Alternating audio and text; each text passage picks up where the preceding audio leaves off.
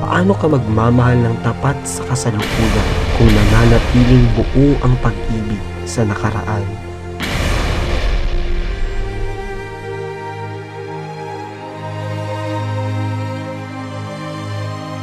Paano mo ibibigay ang buong pagkatao kung mananatiling buhay ang mga alaalang umuusig sa iyo?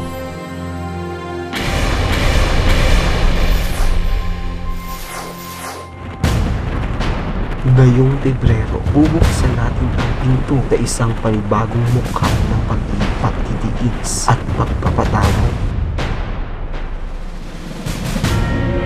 Ano ang susi para wakasan ang nakalipas